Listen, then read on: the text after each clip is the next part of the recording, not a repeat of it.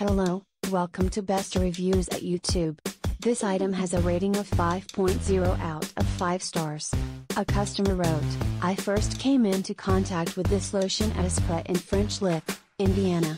It was an amazing vacation, I put IT on, and I was automatically mentally transported to Phoenix, Arizona during the time of year the oranges blossom.